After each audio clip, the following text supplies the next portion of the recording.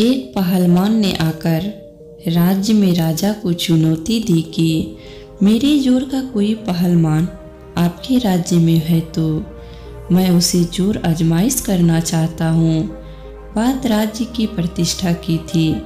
राजा ने श्रेष्ठ पहलवान की तलाश करना शुरू की। परंतु कुश्ती के लिए कोई पहलवान नहीं था। कुछ तो नाम सुनकर कुछ चुनौती देने वाले पहलवान का गठीला बदन देखकर मुकर गए। राजा का यह संदेश जेल के कैदियों तक पहुँचा। उन कैदियों में एक पहलवान भी था। पहलवान कैदी ने राजा को खबर दी कि यदि मुझे कुछ मिनटों के लिए कैद से मुक्त कर दिया जाए तो मैं उस पहलवान से मुकाबला ही नहीं करूँगा, बल्कि उसे पछाड़ कर अपने राज्य और राजा की प्रतिष्ठा को बरकरार रखूँगा। यह खबर राजा को मिली। राजा स्वयं कैद खाने में पहुँचे और पहलवान कैदी से मिले। पूछा कि क्या तुम उस पहलवान से लड़ोगे?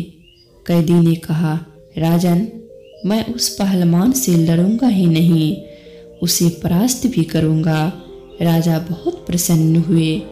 उन्होंने आदेश दिया कि तत्काल उस कैदी की हथकड़ी बेरी खोल दी जाए।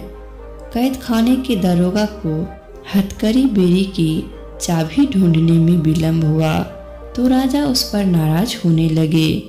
उस पहलवान ने कहा कि नाराज़ होने की कोई ज़रूरत नहीं है, ये जंजीरें और बेरियाँ यूँ ही खुल जाएगी। ऐसा कहकर उसने हाथों को एक झटक दिया तो बेरियाँ खुल गई।